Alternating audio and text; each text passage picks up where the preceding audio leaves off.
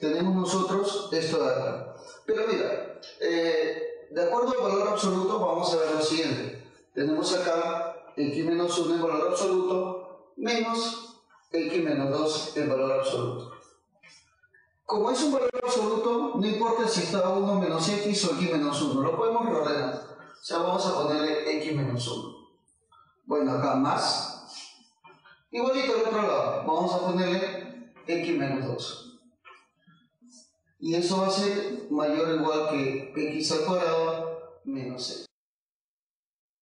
O sea, sería, por ejemplo, x menos 1 elevado al cuadrado. No me preocupo por el valor absoluto porque cuando está al cuadrado, obviamente, se elimina, ¿no? Ya no depende de menos por más menos. Y luego el siguiente, x menos 2 por x menos 2 sería x menos 2 al cuadrado. Le pasa lo mismo a eso por si acaso. Y eso será mayor o igual que x al cuadrado menos 6.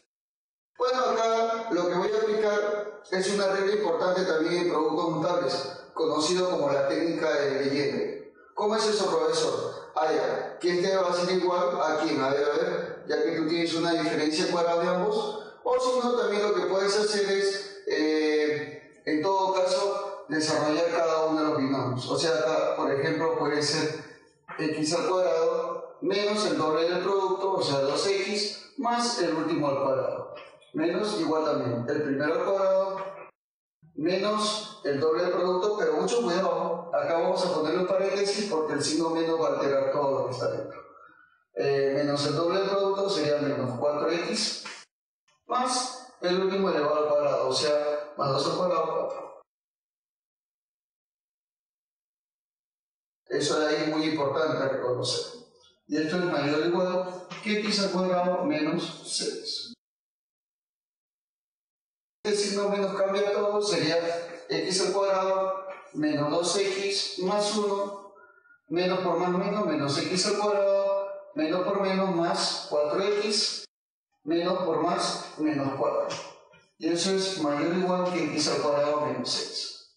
Inmediatamente lo que va a pasar es que se me va y se me va. ¿Y te va a quedar cuánto, profe? Allá, 4 menos 2, 2x. Menos 4 más 1, menos 3 y eso es mayor o igual que x al cuadrado menos 6. Y ahora toditita me la llevo al otro lado. ¿Cómo es eso, profesor? Claro, todo va a ser menor o igual que 0. ¿Quién, profe? x al cuadrado. Este 2x me lo voy a llevar al otro lado y sería menos 2x. Esta de acá pasa al otro lado, sumarlo, ojo, sería menos 6 más 3. Ah, ya, profe, menos 3 inmediatamente. Y ahora lo que hago es calcular los puntos críticos. ¿Cuáles son los puntos críticos, profe? A ver, los puntos críticos serían acá en este caso x por x, técnica de ESPA simple, acá dos números multiplicados que tienen menos 3, menos y más. 3 por 1. Si tú multiplicas el GASPAM, te vas a dar cuenta que te da el centro.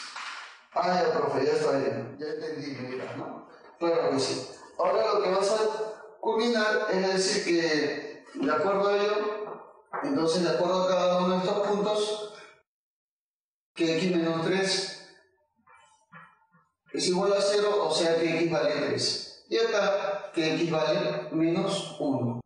Profe, ¿por qué está poniendo eso? Porque estos son mis puntos críticos que voy a colocar en una recta, por si acaso. Y ahora inmediatamente trazo dicha recta de la cual te estaba mencionando, por si acaso. Entonces, en esa recta voy a ubicar a los puntos. Profe, ¿qué puntos? Menos 1 y 3. Pon menos 1 y acá 3. Y, muy bien, y ahora, obviamente, como es menor o igual, son cerraditos. Todititas son cerraditos. Y vas a poner los signos más, menos, más. E inmediatamente, como es menor o igual que 0, agarro el área negativa, la parte negativa. Y te das cuenta que este sería, ojo, este sería el intervalo solución. Simplemente eso. Ah, profe, ¿cómo es eso entonces? A ver, explique. Ah, mira, mira, mira. Observa acá, observa acá. Sería de menos 1 hasta 3, pero cerradito. O sea, digo, la R, PTA, Sería entonces, ¿de dónde a dónde, profe? Ah, Sería entonces desde menos 1 hasta 3. Ah, desde menos 1 hasta 3, pero cerradito. Claro que sí. Esa sería entonces la respuesta del problema. O sea, la respuesta sería la siguiente.